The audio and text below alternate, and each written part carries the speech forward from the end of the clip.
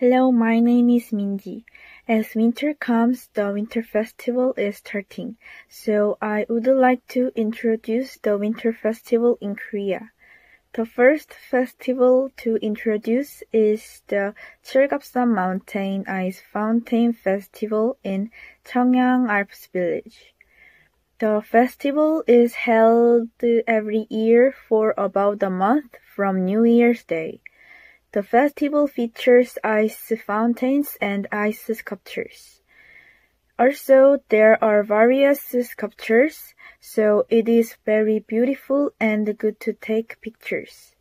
As there are many things to see, many things to play, and the most representative thing is the snow sled.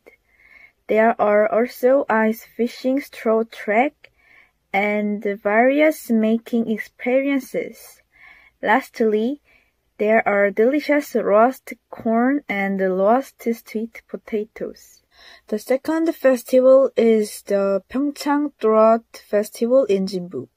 Trout is a tricky fish because it lives in clean water and Pyeongchang is the largest trout farm in the country. So the festival is held. The festival is held for about a month from the last week of December.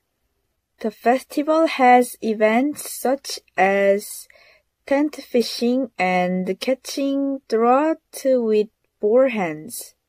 Trout caught at the festival can be eaten as sashimi or grilled. The last festival is the E-World Illumination in Daegu. The festival runs from the third week of November to March next year. At the festival, you can see a photo zone decorated with light and a media art show of a beautiful fountain. You can also enjoy various rides and see the night view. I hope you go to their three winter festivals I also want to go to the winter festival when the COVID-19 is over soon.